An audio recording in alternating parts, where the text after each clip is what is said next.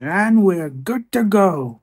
The lost light is refueled, the contaminants are purring like a turbo fox in heat, and Perceptor says he can use magic to get us back to the Galactic Rim in a single epic jump. Goodbye, Optimus. I'll call you when we get to Cyber Utopia. Promise? Bro! Wish us luck, because who knows, maybe the Knights can help us find a cure for your personality. And if you get cross while we're away, remember, it's not the table's fault. Where have you been? Prime wanted us here ten minutes ago. Us? Since when was Starscream one of us? Sorry, Rodimus. No one leaves the planet until we've decided what to do with Megatron. My people want a trial. Okay, firstly, deja vu. Secondly, why bother putting Megatron on trial when his guilt is literally beyond doubt? And the talking sense award goes to Prowl. What did we say about muttering? Oh, come on! I defy anyone to stand next to Megatron and with a straight face say, I think we should hear his side of the story. I say skip the crime and focus on the punishment. We have two options public execution, indefinite spark containment, or public execution. You said public execution twice. Cognitive bias, look it up. We can't remove Megatron's spark without killing him. His internal organs are shot. It's amazing he's still alive. Did I say amazing? I meant depressing. As I said, my people want a trial. Starscream, will you stop saying my people? They're not your people. They're not your anything. They're ordinary Cybertronian citizens who went insane and put you in charge. Any day now, they'll wake up, realize what they've done, and kill themselves. Suicide by Facebook. The people will get their trial. Deciding Megatron's fate in secret would only reinforce the suspicion that we operate outside of the law. In the absence of a Chief Justice, I shall sit in judgment. You realize that makes this a military trial? Yeah, not really sure if a military trial passes your transparency test. There is precedent. Phobos was tried by a military court in open session, as was Desicrus. If it's held in public, it stands. Prowl, I hereby appoint you principal prosecutor. Standard rules of deliberation apply. Let me know which of the five dialects you intend to adopt. Ultra Magnus, Megatron will need someone to advocate on his behalf, someone who knows the law. You will act as orator for the defense. I. Yes. Yes, of course. Good. In which case, we will reconvene in an hour to discuss Order of Council. You seem very eager to resume your quest. You know me, never knowingly patient. Perhaps you could give me a brief update on your progress to date. We stopped Tyrest, saved the Circle of Light, and broke the Matrix. There, ten words. You broke the matrix? 12 words. My mistake. You broke the matrix? Still focusing on that, are we? You broke the mate. My half of the matrix. It shattered when I deactivated Tyrest kill switch. Frankly, it wasn't that robust. But your half of the matrix contained the map to Cyber Utopia. Correct. Which is why the first thing we're gonna do when we escape, I mean leave, is find the greatest Autobot of all time. Thunderclash. Ah, the very fact that you knew who I was referring to just. Ahem, sorry. Yes, Thunderclash. He's having these dreams which he says are guiding him towards the Knights. Look, Optimus, I know that you want us all here in case we need to testify at the trial or whatever, but Thunderclash has gone all quiet on us, and I'm really worried about him. You're right. I do want you here until verdict's been reached, but maybe there's a way to expedite matters. Come with me.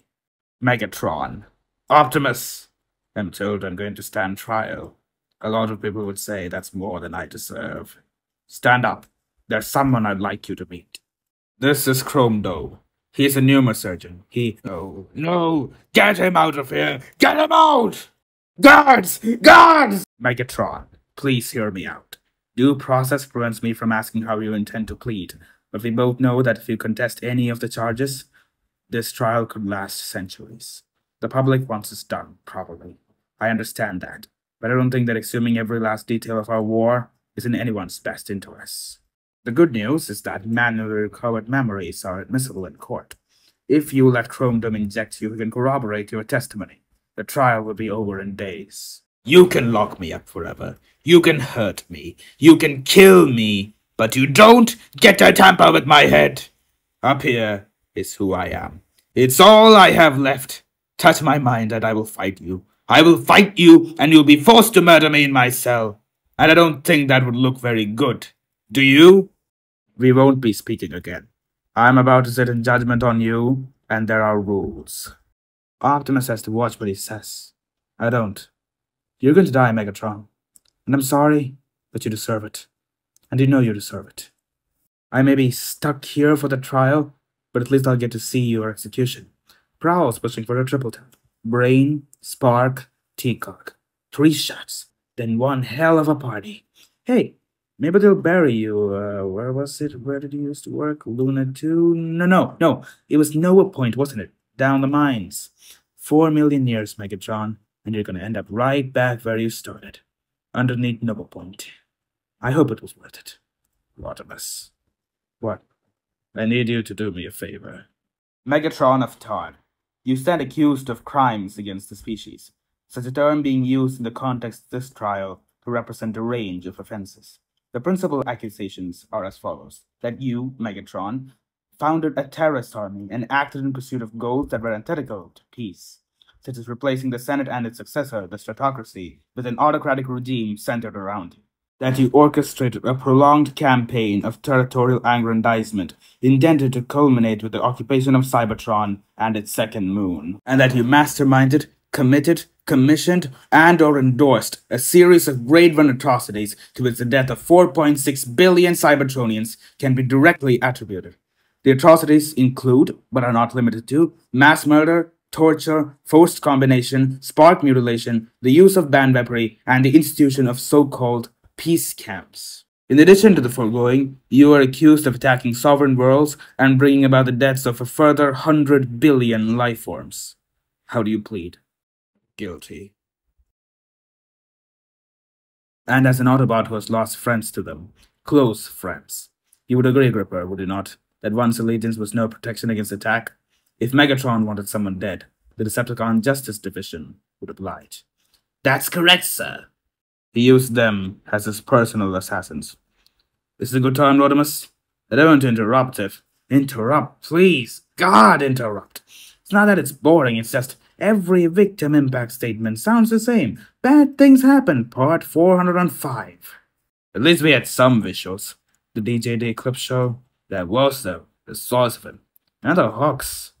Hooks for his hand and his feet. How does that even work? Do you ever make lists, Atomizer? This? Like the DJD. Things you want to accomplish. Things you could tick off. It's not a trick question, I was just reflecting on my progress to date. We're gonna pick up where we left off. With the quest, I mean. Are you in? Oh, totally. A million percent. Unfortunately, so are other people. The people who betrayed you. Betrayed me? You asked the crew if you should stay on as leader, and eight, nine people said no. They did kinda screw up. Did you? Because I'm with the majority who thinks life's more complicated than that. Here, what is it? A list for someone who likes lists. The eight nine people who wanted you gone. Where did he get that? Atomizer? Where did he get that? The vote was anonymous. That's the whole point. The vote was cast electronically. A mutual friend was debugging the low-side systems, and there you go. Take it. Have you looked at it? Yes. And you need to know who's on here, because some of them want to stick around. They'll put up with you if it means finding the Knights. I've been thinking, and you, you could impose a limit, cap the number of people you can take with you, blame rations or logistics, or just say you had a vision. People lap that stuff up. Set a limit and use this list to decide who exceeds that limit.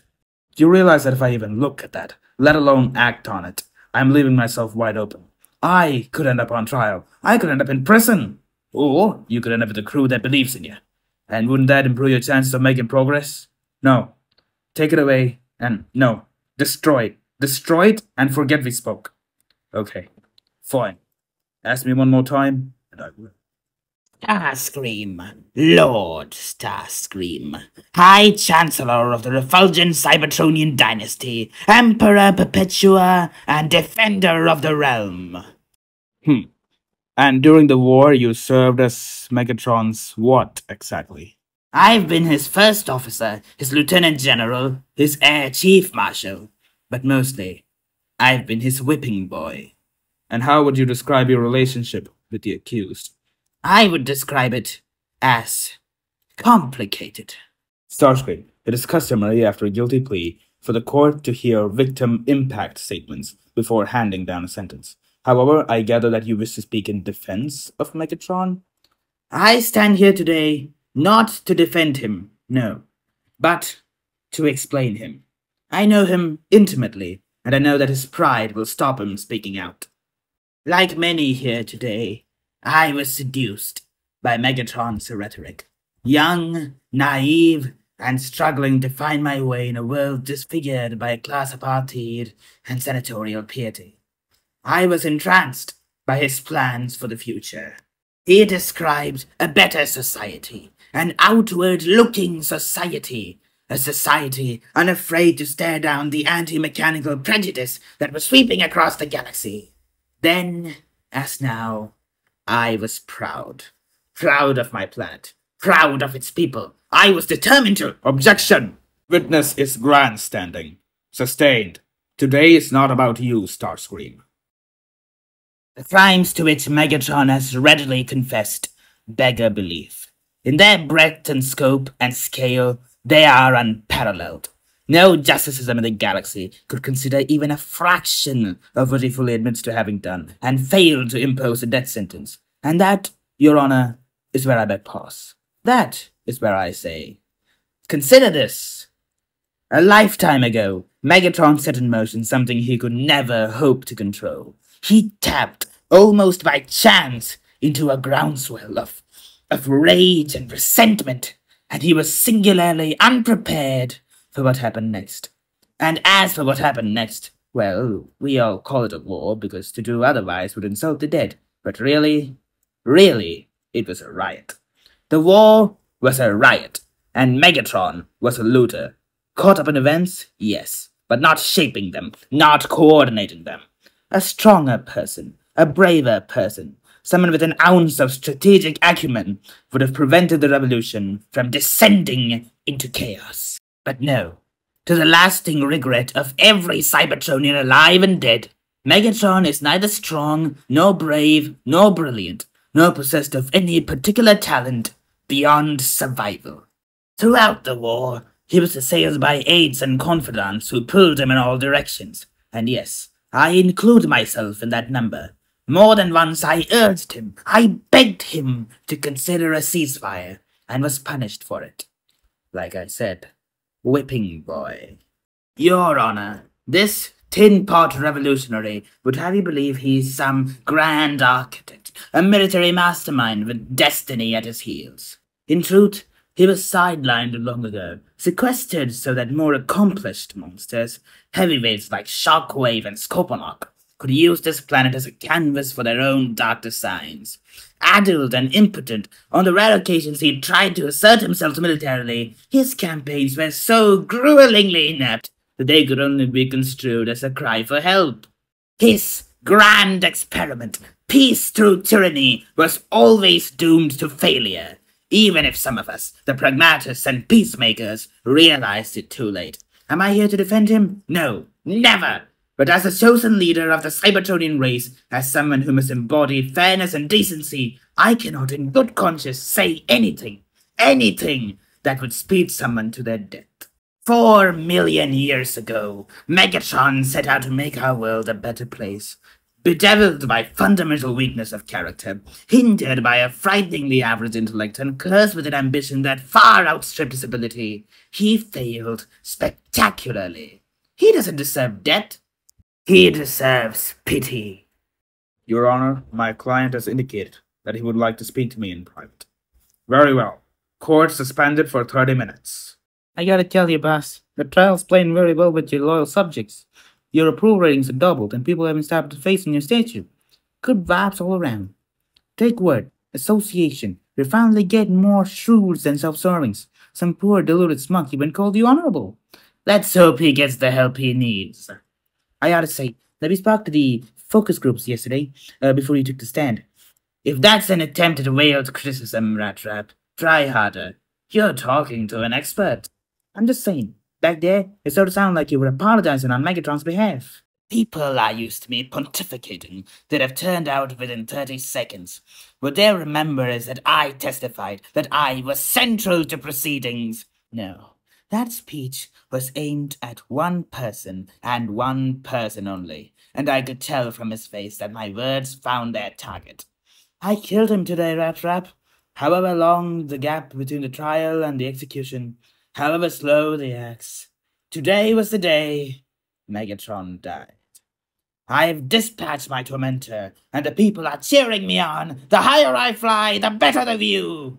Yeah, the only slight blot on the landscape is that the Autobots ratings are up as well. It's a line on a graph slam dance. I'm not sure how you want me to respond. It's a line that represents a softening of public opinion. Because of the trial? Because of the trial. For the first time since the homecoming, the public are saying Autobot without a regime at the end. The word on the streets is justice. If you can convince the average Cybertronian that you believe in the rule of law, you're halfway to winning back their trust. So the message is stay the course. Please be seated. Court is in session.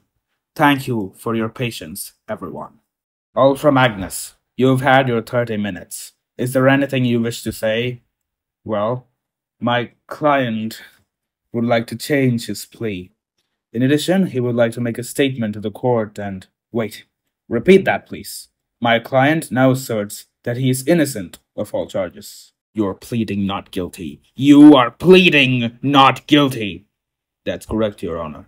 He says he's changed his mind. Ultra Magnus, the statement that your client has asked you to make on his behalf, if Your Honor pleases, I am instructed to address the crowd rather than the court. Very well. I did not resist when taken into custody or protest when advised of the charges leveled against me.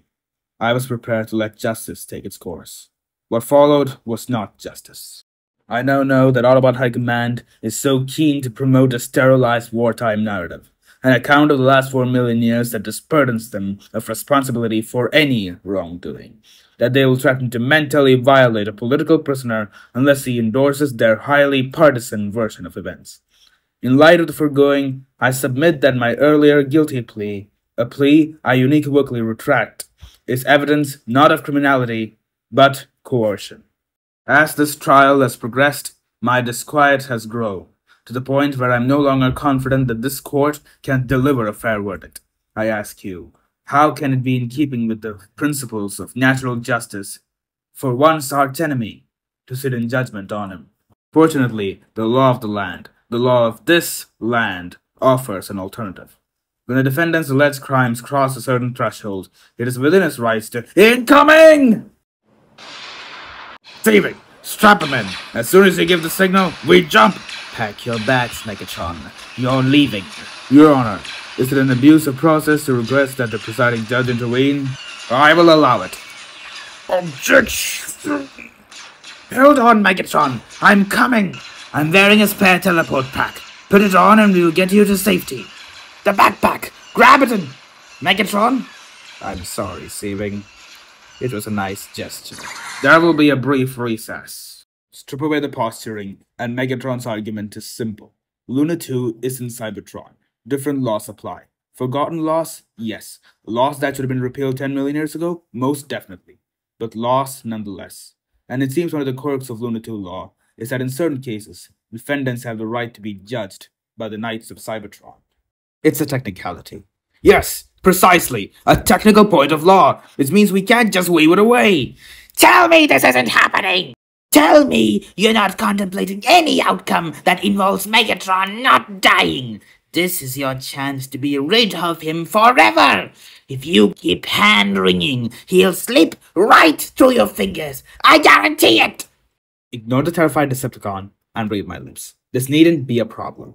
All we have to do is move Megatron back to Cybertron and start over. Except the trial is already underway. You can't just, just shop around for a criminal justice system that's more sympathetic to your requirements. I think it's time you remembered which side you're on.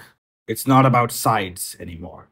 It's about public perception and what would happen if you're seen to flout the law. I don't know in case what I think, but you know what I think? I think you should talk to the guy. Ask him what he wants. His old rat trap got a nose for these things. And I'm telling you, there's more to this than guilty and not guilty.